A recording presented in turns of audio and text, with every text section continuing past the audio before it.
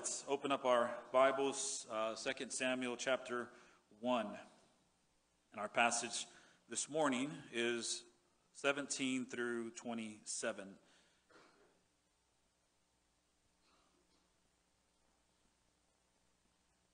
says here, And David lamented with the lamentation over Saul and Jonathan his son. And he said, It should be taught to the people of Judah, Behold, it is written in the book of Jashar. He said, Your glory, O Israel, is slain on your high places. How the mighty have fallen. Tell it not in Gath, publish it not in the streets of Ashkelon, lest the daughters of the Philistines rejoice, lest the daughters of the uncircumcised exalt. You mountains of Gilboa, let there be no dew or rain upon you, nor fields of offerings for there the shield, the shield of the mighty was defiled, the shield of Saul not anointed with oil. From the blood of the slain, from the fat of the mighty, the bow of Jonathan turned not back, and the sword of Saul returned not empty. Saul and Jonathan, beloved and lovely, in life and in death, they were not divided. They were swifter than eagles that were stronger than lions.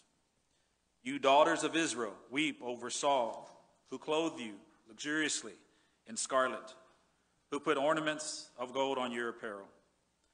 How the mighty have fallen in the midst of the battle. Jonathan lies slain on your high places. I am in distress for you, my brother Jonathan. Very pleasant have you been to me. Your love to me was extraordinary, surpassing the love of women how the mighty have fallen, and the weapons of war perished. That is the word of the Lord. Amen. So, our passage today is written in the form of a lament, and it says that clearly in verse 17 that this is uh, that David lamented with the lamentation over Saul. Uh, lament basically is a um, that's when someone uh, physically expresses their their grief by wailing, by moaning or weeping. It's just this, uh, this extreme display of, of, of, of sadness and mourning. And a lamentation is basically a written expression of that mourning. Uh, we have several uh, examples of lamentations in the Bible. The easiest one is uh, the book of Lamentations, right? So that's, that is a, a, a book filled with lament because of Israel's sin and God's discipline upon the nation. Uh, but there's also uh, lamentations in Jeremiah, the book of Jeremiah. Uh, obviously, here in our chapter, 2 Samuel chapter 1. And then we find several Psalms that are, uh, that are written in forms of lamentations.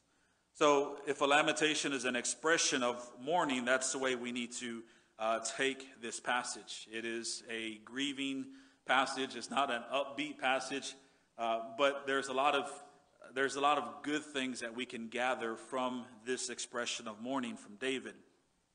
Um, with David, there's good reason for him to lament here.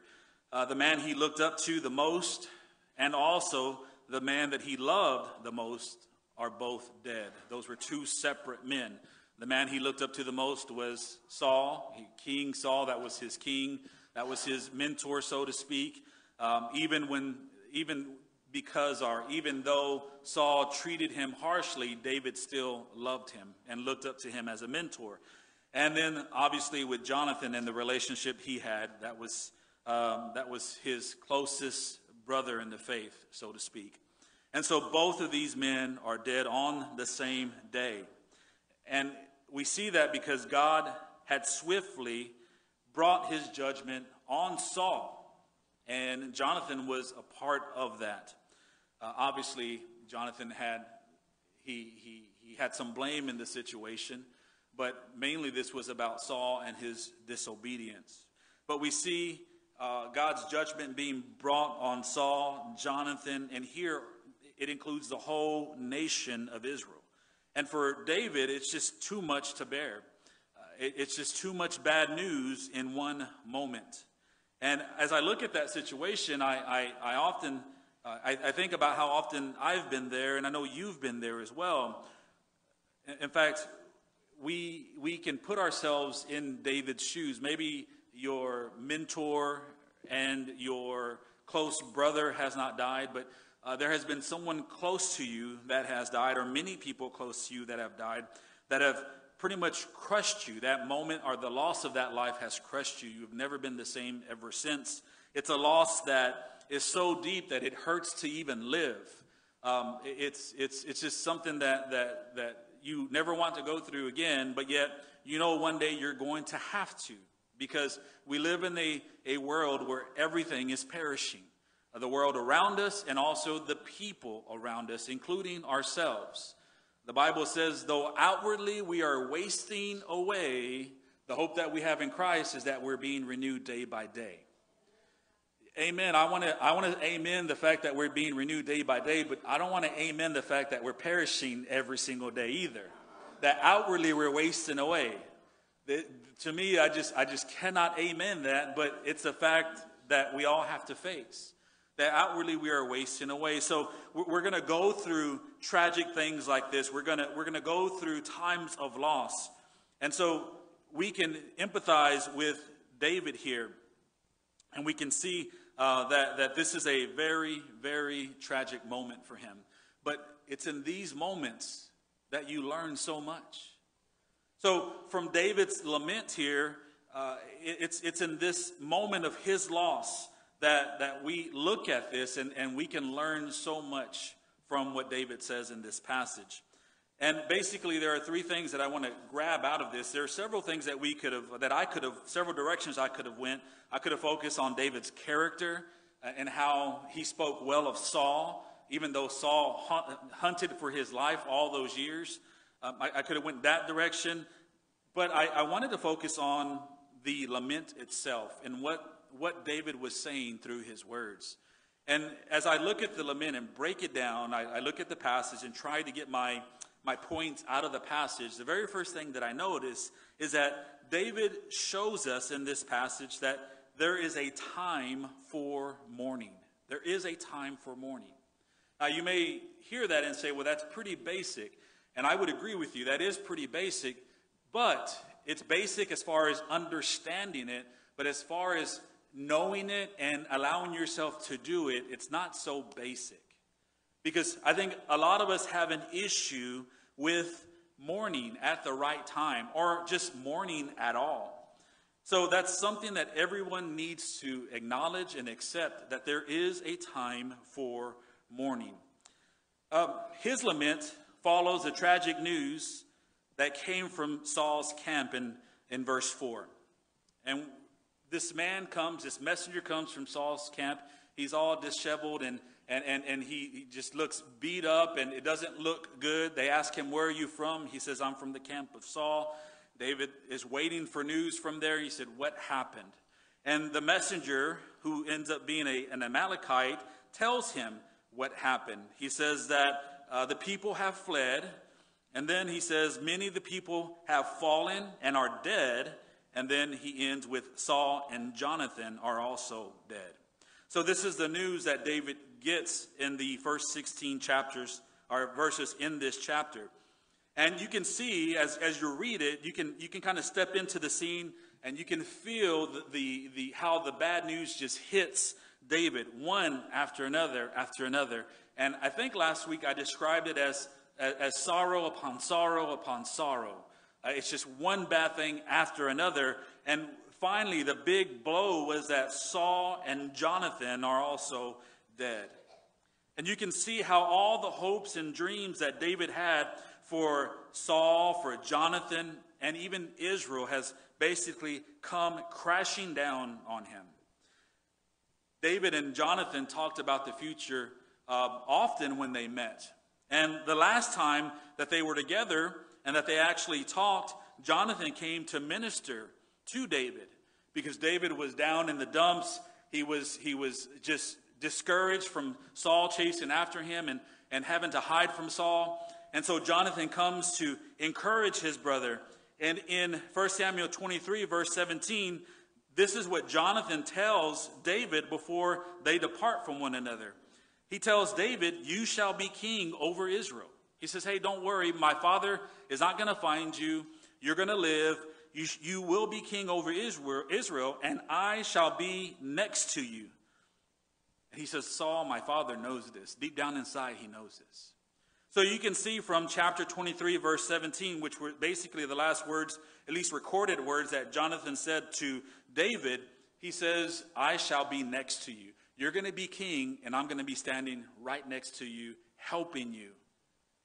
I'm going to be your right hand man. Well, that's not coming true anymore. And that's hit David really hard.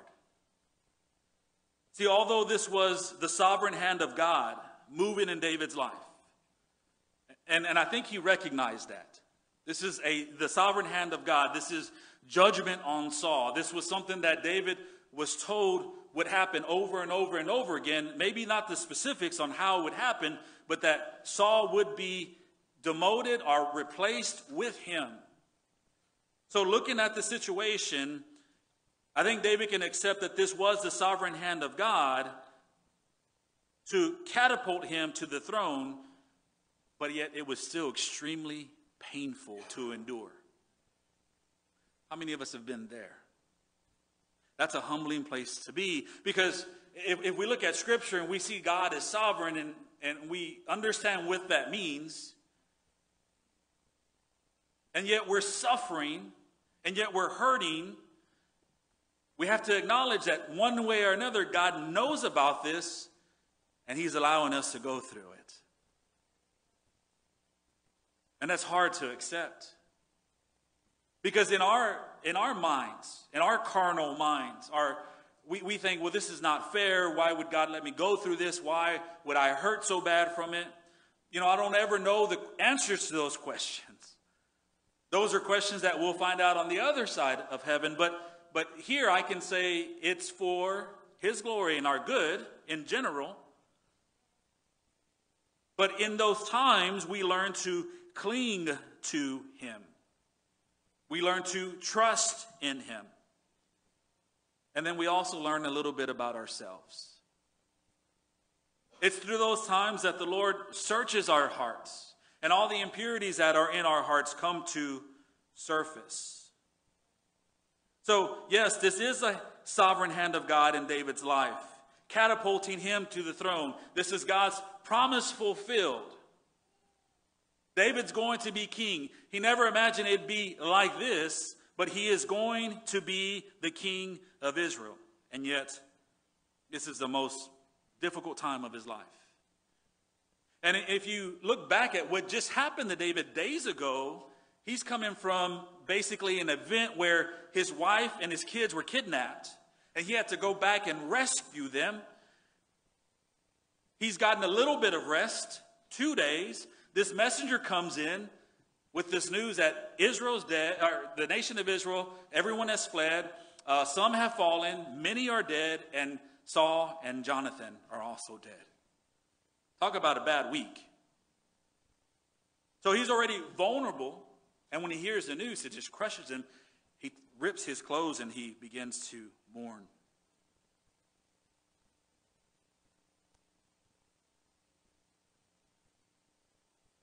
This is what the sovereign hand of God looks like sometimes. It, it's, it's not pretty. We don't understand it. But yet, there's something peaceful about it. That, God is, that God's hand is over it. See, maybe in the future, David would look back and appreciate God's grace at work in this moment, but right now, he's in pain. And you know what? That's okay. That's okay because there is a time to mourn. See, Christians put extreme pressure on themselves to not mourn when they are supposed to be mourning.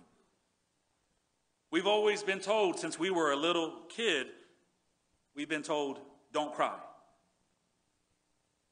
We've been told, be tough. And, and all those things may have been good advice for us at the time, there's more that goes into it than just not showing emotion. See, we think we're always supposed to be happy and singing and clapping our hands, even when something tragic happens. We think that we have failed God or that we have fallen back in faith or or anything like that. We, we, we tend to think those things that if we're not happy and singing and clapping uh, like the apostles are in the Bible, then we've shrunk back in faith and, and we're, not, we're not worthy of anything. The fact is, the Bible does tell us to count it all joy when you meet trials of various kinds, for you know that the testing of your faith produces steadfastness. And let steadfastness have its full effect, that you may be perfect and complete, lacking in nothing. The Bible does tell us that. That's James chapter 1, verses 2 through 4. And I think when we read passages like that, we get confused about how we're supposed to respond to tragic news. We're like, oh, I'm supposed to count it as a complete joy. So, what does that mean? Am I supposed to be clapping when I hear that someone close to me is dying, or that someone has died, or I've lost this loved one, or someone close to me is sick? Am I supposed to just be happy about it? The answer to that question is no, you're not.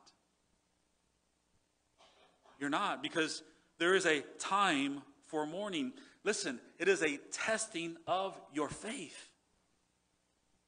And that's what James is saying here. He says, Count it all joy, my brothers, when you meet trials of various kinds, for you know that the testing of your faith produces steadfastness. Now, I don't know about you, but I've never had a test that was not difficult. The testing of our faith is an, is, is, is an excruciating process. And that's something that we have to realize. It is a process that God takes us through. There's a starting point, and then there's an ending point. So just because you start off mourning doesn't mean you're going to end that way. But you got to start somewhere. If it's a process, then that means that us mourning and grieving is a part of that process. And we are to count it all joy, not that something tragic has happened. We're not wired that way. When something tragic happens to us, we're wired to respond to it with grieving.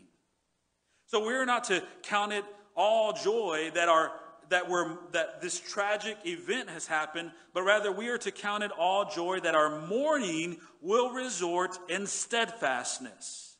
And steadfastness into spiritual growth. That, that's where the joy comes in.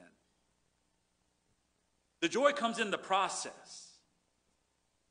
I know that I'm at this starting point and it's low. I, am in the, uh, the, the, the shadow of death right now, so to speak, as, as David said in Psalm 23.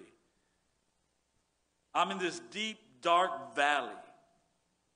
That's my starting point. But my joy comes from knowing that God has me all the way through. My joy comes from knowing that through this process, I will grow.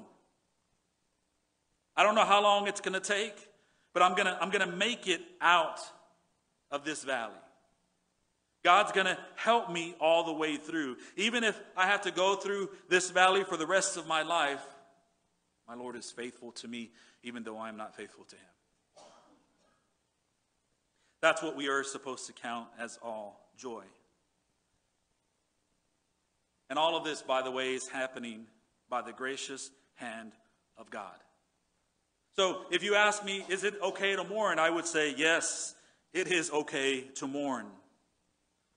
This was a great loss for the nation of Israel and for David personally.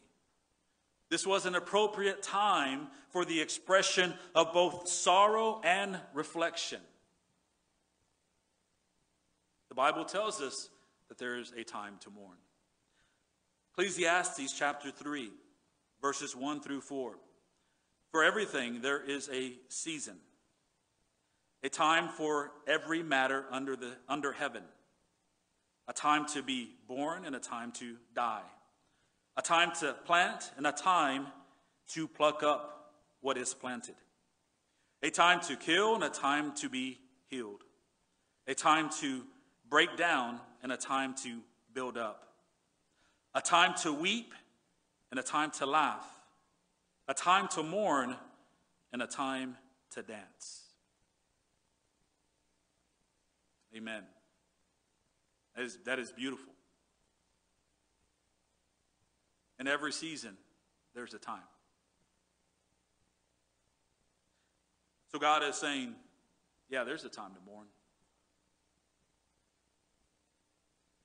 That's your starting point. But I'm going to see you through the process. See, when we think about this, we must remember that even Jesus wept.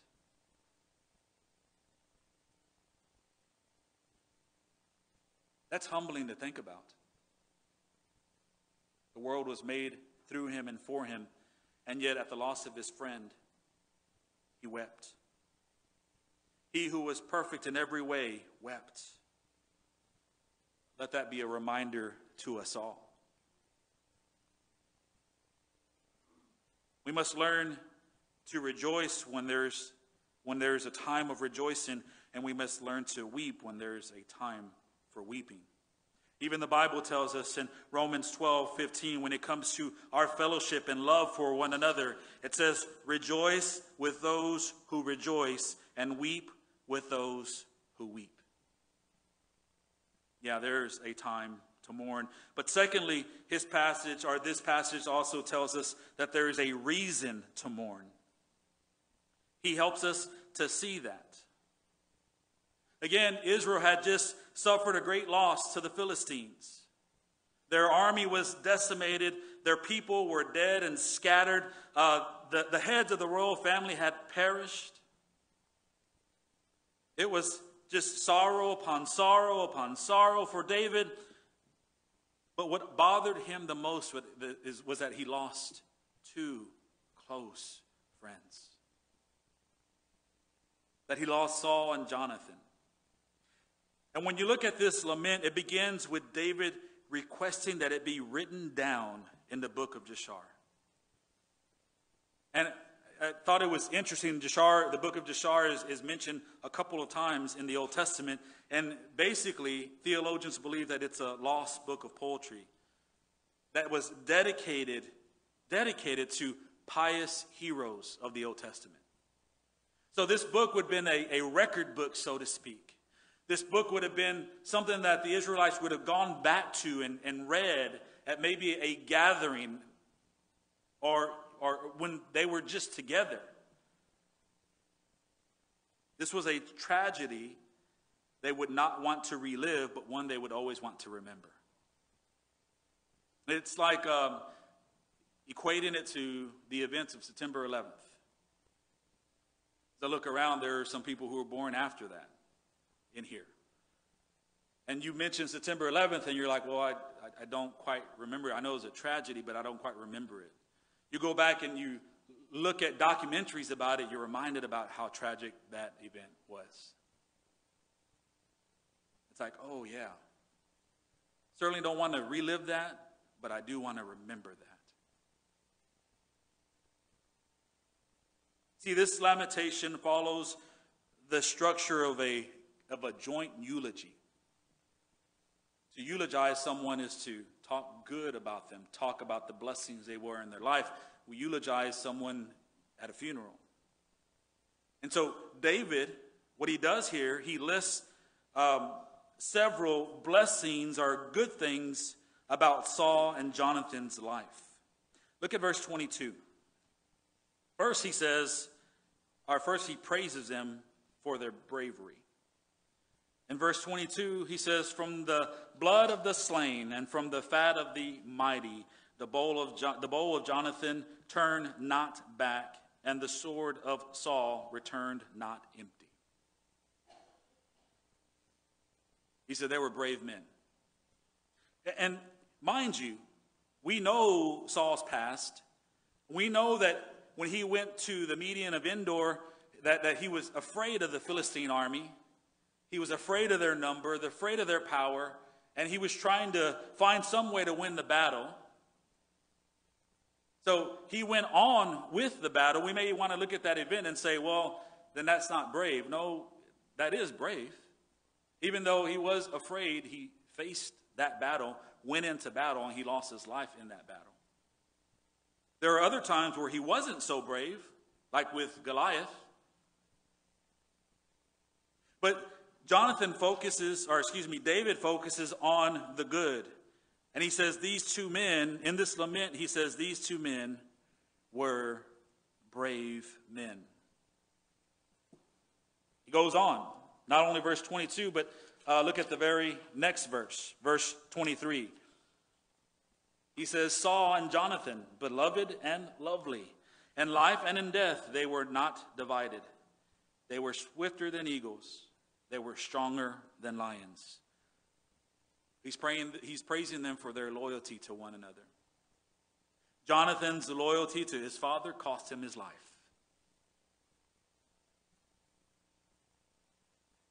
But there's reason for praise for that in a world where people are not as loyal as we should be. David says, no, they were devoted to one another. Verse 24 You daughters of Israel, weep over Saul, who clothed you in scarlet and who put ornaments of gold on your apparel. It's, it's when you look at that passage and you compare it to how the ladies of Israel sung whenever they came in from winning their battles earlier in 1 Samuel. They sung praises to Saul and to Jonathan, or to David. They said, Upon Saul, he has killed his thousands. Upon David, he has killed his ten thousands. So this, that, that was a song of praise for them. And now David is saying, just like you sang songs of praise for Saul, now, now you need to weep over Saul. Why? Because of his battles and his victories in battle, you've had a good life from a monetary standpoint. He has, as a king, he has provided for you. And he also, at the very end, praises them or praises Jonathan for his friendship. Look at verse 25. How the mighty have fallen in the midst of the battle. Jonathan lies slain on your high places. Then he goes on to this very personal um, part of, of his lament for Jonathan. Verse 26. He says, I am distressed for you, my brother Jonathan.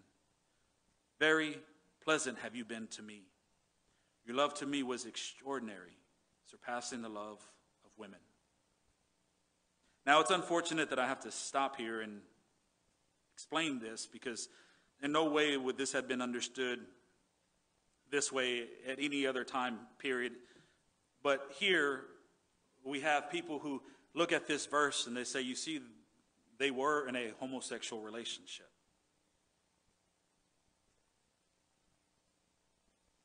We've addressed this already, that Scripture would have called it out. Because later in 2 Samuel, when, um, when David sins with Bathsheba, Scripture calls it out as sin. See, Scripture doesn't hide sin, it shows it, it exposes it. And in the Old Testament and in the New Testament, homosexuality is seen as the same thing. It's repulsive to the Lord. So there is no way that this passage here is pointing to a homosexual relationship. Rather, I think for the people who see it that way, they fail to acknowledge the fact of what true Christian uh, relationship is to be. What true fellowship really is between two men or, or two women and we also have to acknowledge that this was a different time. Things were different between husband and wives then. Uh, uh, you know, for David, he had two wives. And there are theologians who think that these women that he's talking about, he's saying to Jonathan, my closeness to, my closeness to you was, was closer than I am to the two women that I'm married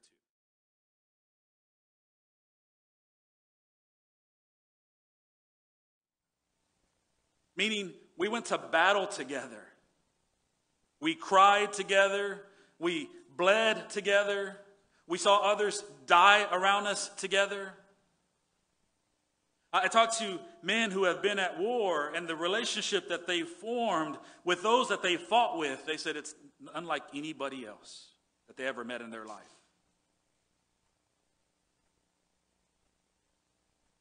They were, men remember these men for the rest of their lives, and if they see them 50 years later, it's like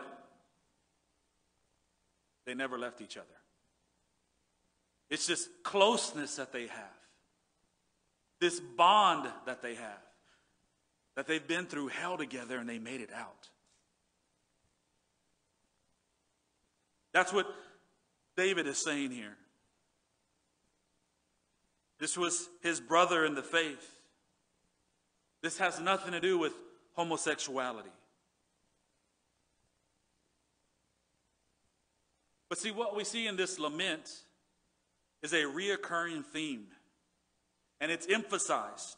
It's, it's spoken three times. David says, How the mighty have fallen.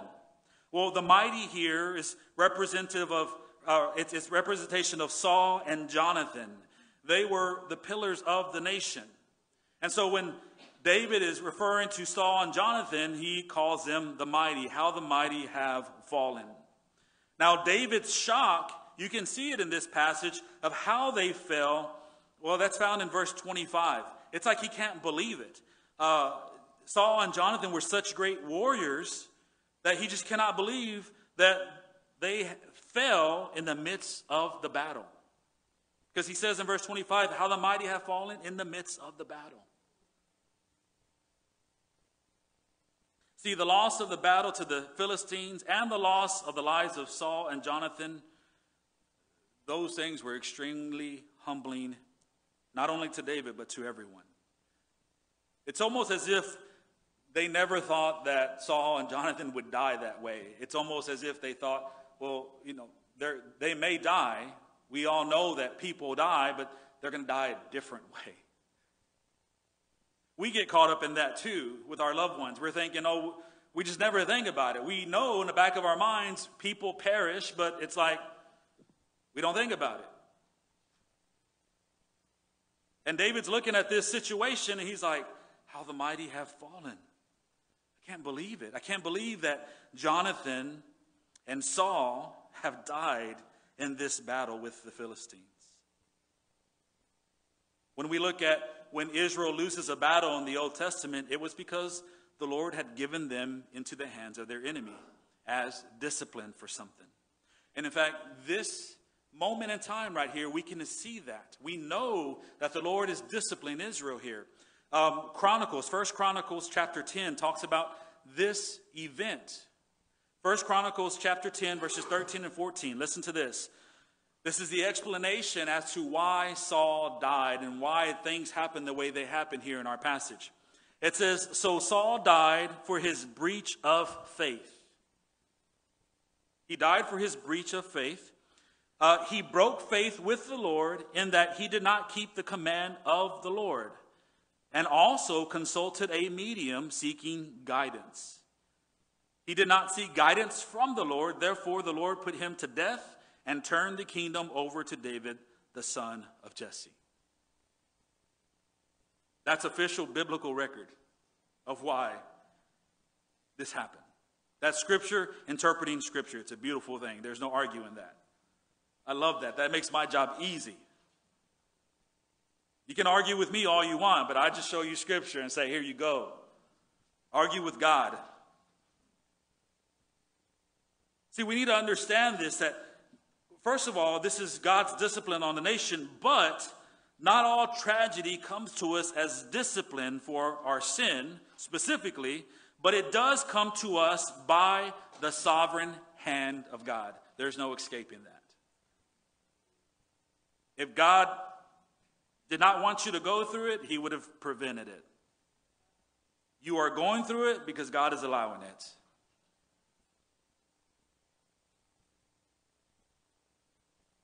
See, the impact of this event is even understood by the secular world.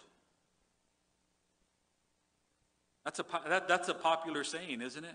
Oh, how the, how the mighty have fallen. Even today, how the mighty have fallen. How the mighty have fallen. We say that when someone is being humbled by their circumstance. Uh, when a rich man loses his riches, how the mighty have fallen. Especially if someone is very prideful when they are mighty. You say, oh, he deserved it. Or when a strong man loses his strength, how the mighty have fallen. Or a beautiful woman loses her beauty, how the mighty have fallen. See, when David said it, he didn't mean it that way. When David said it, it was a statement of grief, of disbelief, of pain, of crying out to the Lord, how the mighty have fallen. Couldn't believe it that they fell in battle. Well, what does that teach us? Well, when bad or tragic things happen to us, they are, or it's a, an appropriate reason to mourn. There's reason for David to mourn here, and, and there's good reason for it. And he's explained everything as we go down through this lamentation. See, God not only gave us the ability to mourn, I, would like to go even further than that. God created us with the necessity to mourn. If you're a big, strong guy and you pride yourself in the fact that you don't ever mourn, there's something you need to repent from. If you're a little small woman and you, you still say, I don't mourn for anything, there's something you need to repent from. There's a, an inner pride issue that you have. Because God created us with the necessity to mourn, not just to cry, not just to mourn, but to cry out to Him. That's why we need to mourn. James comes through with another great verse. Uh, James chapter 4, verses 8 through 10. Draw near to God, and he will draw near to you. Cleanse your hands, you sinners, and purify your hearts, you double minded. Be wretched and mourn and weep. Let your laughter be turned to mourning and your joy to gloom. Humble yourselves before the Lord, and he will exalt you. Now, that passage is speaking about our sin and how we should weep over our sin, but that can be applied across the board. When we are mourning, we need to humble ourselves before the Lord, and He will exalt us. See, there's a dichotomy between generations and genders and cultures when it comes to the expression of grief. We all learn different things. And there are two main camps there are the criers, and then there are the never criers. Right? What, what camp do you fall into? The criers or the never criers? If, if I'm being honest, I'm in, in the never criers. I try to never cry, right? But when the Lord breaks me, for, for however much He breaks me, I am in the criers section.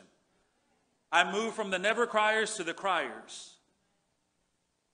See, we need to be careful about crying too much, and I say crying, I mean mourning, but we need to be careful about crying too much, and we need to be careful about never crying because tears can be weaponized. If we cry too much, that means we cry for everything to get what we want. Right? To get what we want, we cry as, as, as kids, as babies. We learn that from the very beginning. Oh, if I cry, just to shut me up, they're going to give me what I want. Here you go. Great. I'm all good now. So they can be weaponized. But on the other side, it could be a matter of pride. I'm not going to cry. You're not going to make me cry. I'm not going to show you that I'm weak. I'm not going to show you that you've affected me in this way. I'm not going to let you see me this like this. So either way, we need to be careful about weaponizing our mourning or making it a matter of pride. In other words, the reason for mourning is not for everything and it's not for nothing. But rather, we must be sensitive to, the, to God's work in our tragedy. Our mourning is at the mercy of God's sovereign hand, and it should always result in us crying out and depending more on Him. That's what mourning is about. It's not about us not getting our way and then we cry over our own situation and think, oh, that was a good cry. I needed that. And it's not about us bragging to everybody and, and, and putting up this persona that you're a tough guy when really inside you're not. You just don't want to express it. In fact, it's really not about us, but it's about us coming to the throne of grace. It's about us coming to our Father when we need Him. It's about us humbling ourselves before the Lord and saying, I need you. I need you right now. I need you more than ever. All these sinful thoughts I have, all these the, the sinful behavior I'm going through because I'm mourning, I don't know what to do. I need you. How can I glorify you in this? Because right now my flesh does not want to glorify you. I, I, I do not want to praise you. I do not want to follow you. Lord, help me. I'm reminded of Christ again. While, while Jesus comp- contemplated and prayed concerning his crucifixion, in his moment of anguish, he cried out to his Father, Not my will, but yours be done.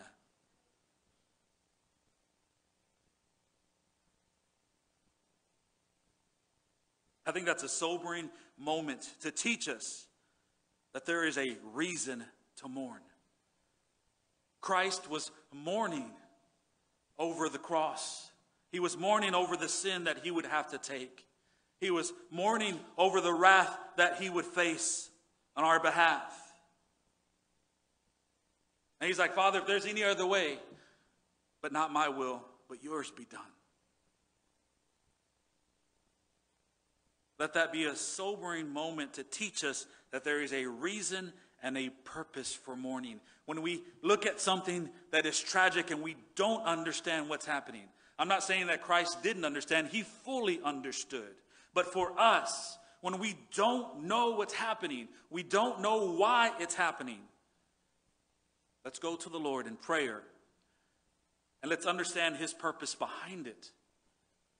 If you're his child, his purpose is not to punish you in that he is making you suffer for nothing.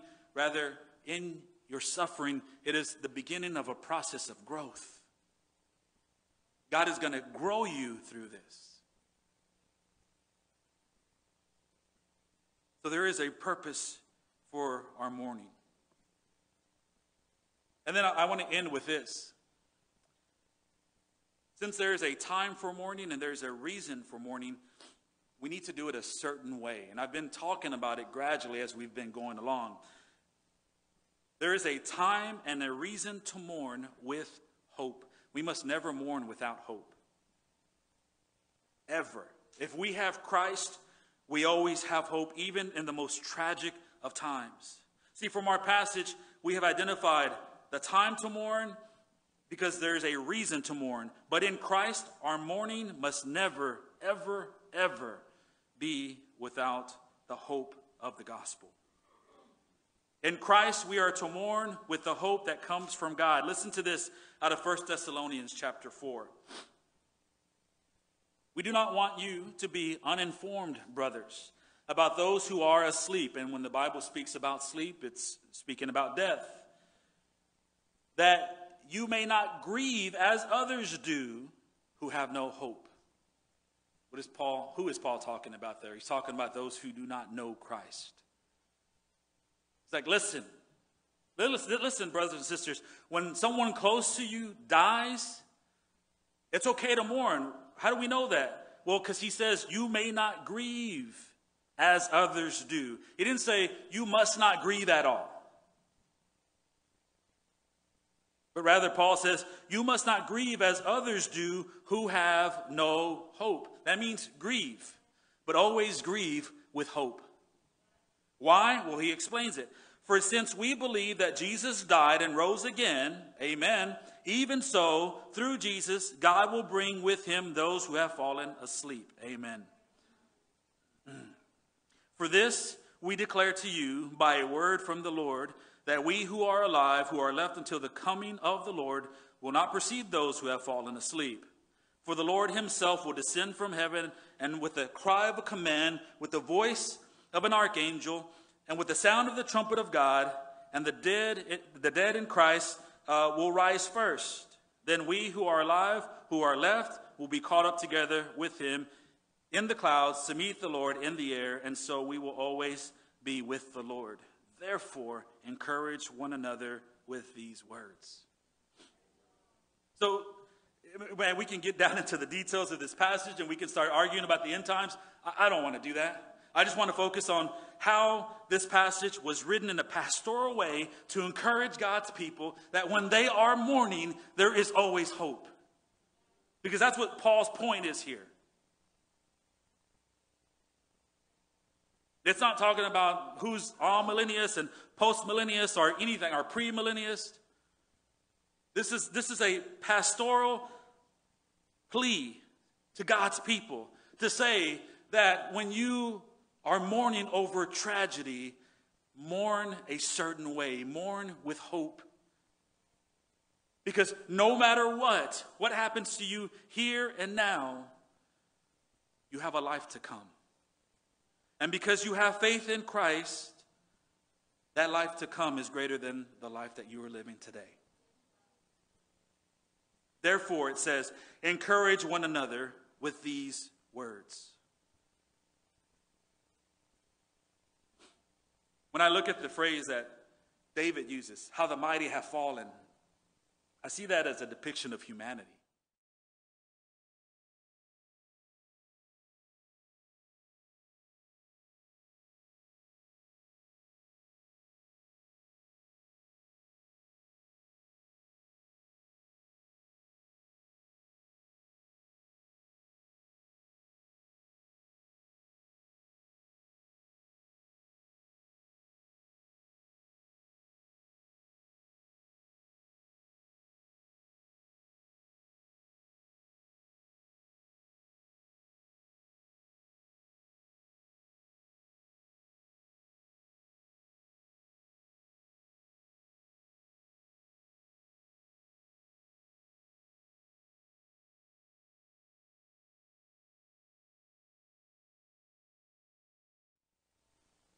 And when we look at humanity, because of our sin, we see that our bodies perish day after day. And so we can see how the mighty are falling. Like every single day, we are perishing. We talked about that. Our outwardly, we are wasting away. But that doesn't mean that God has lost. We, as we live, we see others around us wasting away. As we live, people around us are dying. And for some people, it's just too much to take, and they're like, no, God wouldn't let this happen. God must not care or he must not be strong enough. I, I, I ask you not to go there. Remember that you, as, as, as, a, as a believer, are told to mourn with hope. So the fact that people perish, the fact that we as the so called mighty, the fact that we fall, doesn't mean that God has lost. Rather, we worship a living God. And though we fall, the Almighty, He never falls. He never falls. Jesus has conquered the grave, and He is seated at the right hand of God. He is interceding for us. We've told you several times already the theme throughout 1st and 2nd Samuel is the eternal king of glory. So when we look at David, when we look at Samuel first, and then we look at Saul, we look at Jonathan, we look at David, we see all these men just, all these mighty men fall. But the one who does not fall is the Almighty. He is the true King, He is the true warrior, and He is our true friend. And I want to end with this passage 1 Corinthians chapter 15, verses 54 through 58. Death is swallowed up in victory. O death, where is your victory? O death, where is your sting? The sting of death is sin, and the power of sin is the law. But thanks be to God who gives us the victory through our Lord Jesus Christ. Therefore, my beloved brothers, be steadfast. There's that word again. Immovable, always abounding in the work of the Lord, knowing that in the Lord your labor is not in vain.